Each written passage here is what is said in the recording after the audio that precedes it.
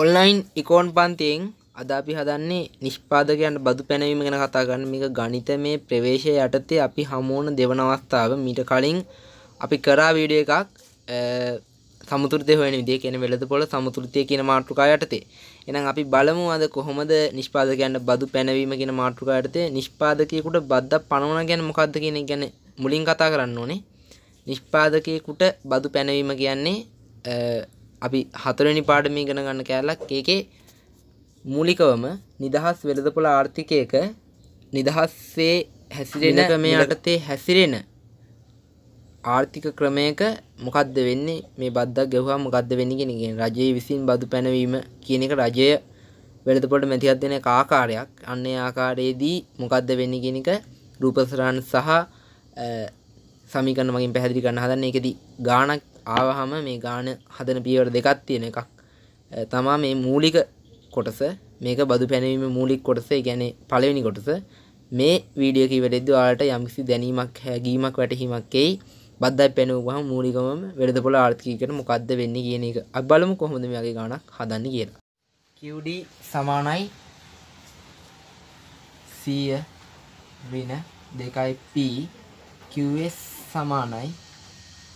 රින පණහ ධන තුනයි පි මේ වගේ ගානකට මූලිකව අපි ඉල්ලුම් සමීකරණය සැපියුම් සමීකරණය කියන සමීකරණ දෙක දැන් අපිට දීලා තියෙන අවස්ථාවකදී බද්දක් පැනවීමක ප්‍රතිපාක පෙන්වන්න තමයි මම හදන්නේ. ඒතකොට බද්දක් පැනවීම ගණිතමය වශයෙන් දැන් බද්දට පෙර සමතුලිතය සහ බද්දට පසු සමතුලිතය ඊට පස්සේ පාරිභෝගික නිෂ්පාදන අතිරික්ත ඒවට මොකද වෙන්නේ කියන එක හොයන්න තමයි යන්නේ.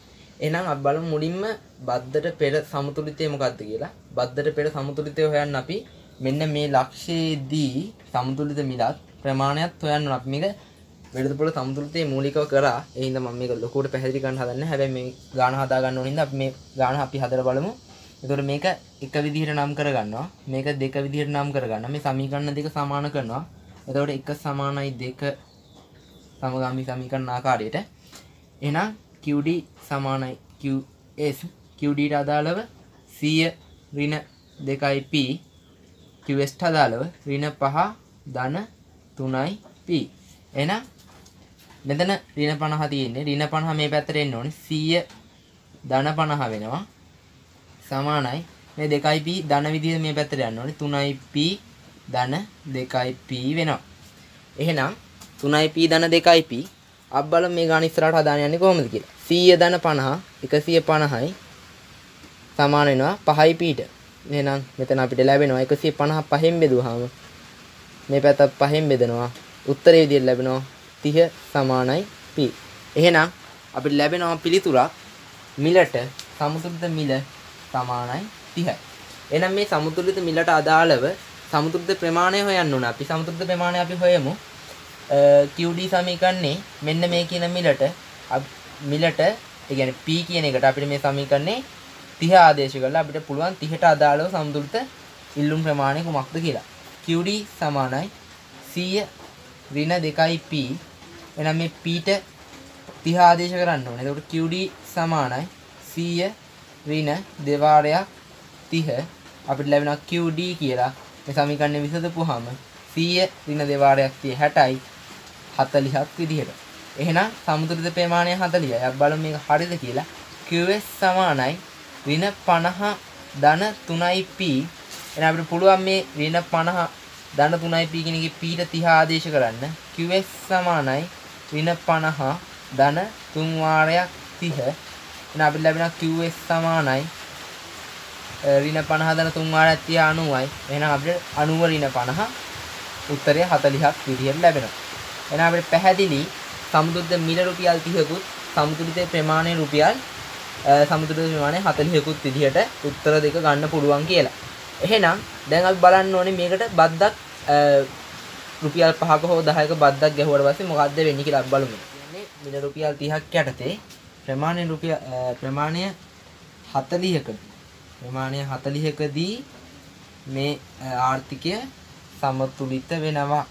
ඉතින් ඒ වගේ සමතුලිත තත්ත්වයක් ඇති අපි බලමු රුපියල් 5ක බද්දක්. රුපියල් 5ක බද්දක් පැනවුවට පස්සේ මොකද්ද වෙන්නේ කියලා. හරිද? රුපියල් 5ක බද්දක් පනවන දැන් QD සමානයි අපි දන්නවා 100 ඍණ 2යි P QS සමානයි අපි දන්නවා ඍණ 50 ධන 3යි P. දැන් මේ QS කියන සමීකරණයට මේ බද්ද එකතු කළා තමයි අපි මේ ගාන හදන්න ඕනේ. කියන්නේ අපි දන්නවා දැන් නිෂ්පාදකයා මත තමයි බද්ද අය කර බදු අය කරන එකක බද්දක් අය කරන නිෂ්පාදකයා මත. එහෙනම් නිෂ්පාදකයා මත අය කරන එකක බද්දකදී මෙන්න මේ ආකාරයට සැපයුම් කරුවාට තමයි බලපෑම වෙන්නේ. එහෙනම් සැපයුම් කරුවාගේ මිලෙන් මේ බද්ද අඩු කරන්න ඕනේ. සැපයුම් කරුවාට ලැබෙන බද්ද මිලෙන් අඩු කරන්න ඕනේ. බද්ද ගෙවන්න ඕනේ හින්දා මේ මිලෙන් ඒකක බද්ද ඒකක එක මිලෙන් අඩු කරන්න ඕනේ. එහෙනම් අපි මෙතන QS කියන්නේ ඒකක එක ප්‍රමා ඒකක ප්‍රමාණය. එහෙනම් එක ඒකකයක් මේ QS සමානයි ඍණ 50 ධන 3යි P. එහෙනම් අපි බද්ද අඩු කරනවා මේ P වලින් අපි අඩු කරනවා 5. හරිද? ඊට පස්සේ QS සමානයි ඍණ 50 ධන 3යි P ඍණ 15. ඒ කියන්නේ තුන් වාරයක් P 3යි P මේ වරහන අයින් කරපුවාම තුන් වාරයක් පහ ඍණ 15. ධන 3 ඍණ 5 ඍණ 15. එහෙනම් පැහැදිලිව පේන අපිට මේ සමීකරණය සරලව ඊළඟ පියවරට යන විදිහ. එතකොට QS සමානයි ඍණ 50 ධන 3යි P ඍණ 15 අපිට මේක විසඳන්න පුළුවන් QS සමානයි ඍණ 65 ධන 3යි P කියලා. එහෙනම් අපිට ලැබෙන අලුත් සමීකරණයක් සැපයුම් සමීකරණයක් එක තමයි ඍණ 65 ධන 3යි P. එහෙනම් රින 65 ධන 3යි P කියන එක අපි ගොඩනගනවා මෙන්න මේ ආකාරයට සරලව ඇද ගන්නවා අපි රූප සරහන රින 65 ධන 3යි P. එහෙනම් ST සමීකරණේ රූප සරහනේ වක්‍රය ඇද ගන්න පුළුවන් අපිට. මෙතන විතැන් වෙනවා මේක. වමට ඒ කියන්නේ සැපයුමේ අඩුවීමක් සිදු වෙනවා. සැපයුමේ අඩුවීමක් සිදු වෙනවා. එහෙනම් මෙන්න නව සමතුලිත ලක්ෂය නව සමතුලිත මිලක් හා ප්‍රමාණයක් අපිට ලැබෙනවා. අපි බලමු දැන් නව සමතුලිත මිලක් හා ප්‍රමාණයක් ලැබුණාම මේ නව සමතුලිත මිල හා ප්‍රමාණය හොයන්නේ කොහොමද කියලා.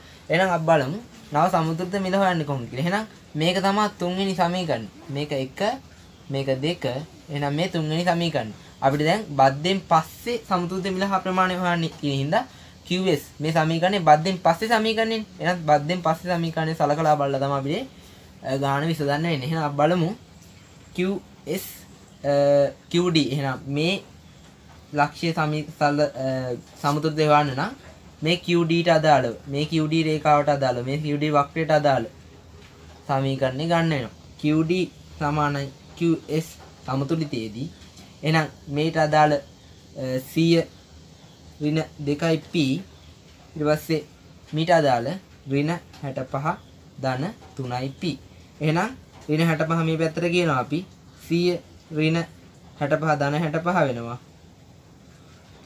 සමානයි මේ ඍණ 2යි p මේ පැත්තට කියනවා 3යි p ධන 2යි p වෙනවා. එහෙනම් මේ පැත්තේ 5යි p සමානයි 165 එහෙනම් උත්තරය අපිට ලැබෙනවා මිල සමතුලිත මිල 33ක් විදිහට මේ සමීකරණේ විසඳපුවාම. එහෙනම් මෙතන නව සමතුලිත මිල ලැබෙනවා 33යි නව සමතුලිත ප්‍රමාණය අපිට ලැබෙනවා මේ 33 ආදේශ කරන්න ඕනේ QD සමානයි 100 ඍණ 2යි P කියන සමීකරණේ P ට.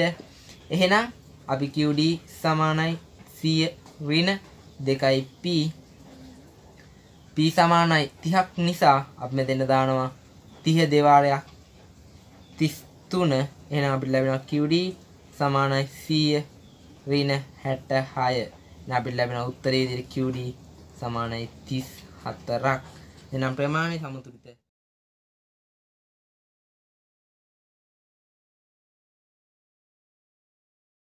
ඉතින් මේකේ ඉතුරු කොටස නිෂ්පාදන හා පාරිභෝග අතිරික්ත කියන කොටස ඒවට බද්ධයෙන් වෙන බලපෑම සහ සානාධාර කියන කොටස් දෙක වීඩියෝ දෙකකින් අපි ඉස්සරහට බලාපොරොත්තු වෙන කරන්න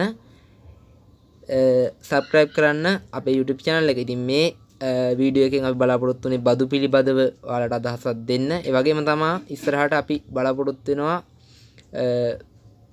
අපේ ස්මාර්ට් විෂන් කියන Facebook page එකත් එක්ක සම්බන්ධ වෙන කට්ටියත් එක්ක අපි එකතු වෙලා ලොකු ගමනක් ඉස්සරහට යන්න. ඉතින් Facebook page එකට like එකක් දාන්න Smart Vision description එකේ ඇති link එක like එකක් දාලා එකතු වෙන්න. අපිත් එක්ක අපේ මේ page එක හරහා අපි papers ඔයාලට ලබා ගන්න පුළුවන් විධිමත් ක්‍රමවේදයක් හදන්න බලාපොරොත්තු වෙනවා. ඒ වගේම තමයි ඔයාලට තියෙන ප්‍රශ්න යොමු කරන්න පුළුවන් අපිට ඩිස්ක්‍රිප්ෂන් එක බලලා ඔයාලට තියෙන ප්‍රශ්න මේක මේ මේ වීඩියෝ එකට කමෙන්ට් එකක් විදිහට දාන්න අපි සූදානම් ඒවට ඔයාලට උත්තර දෙන්න ඒවා කොහොමද ගණන් ඔයාලට තියෙන ප්‍රශ්න ඊළඟ වීඩියෝස් වලින් ඒවට උත්තර දෙන්න අපි සූදානම්. අපේ WhatsApp අංකයෙන් එකතු වෙන්න පුළුවන්. මගෙත් එක්ක ඔයාලට ඕන ප්‍රශ්නයක් අහන්න පුළුවන්. අපි සූදානම් උත්තර දෙන්න. ඒ වගේම ඔන්ලයින් නිකෝන් පන්තිය සබස්ක්‍රයිබ් කරන්න තාම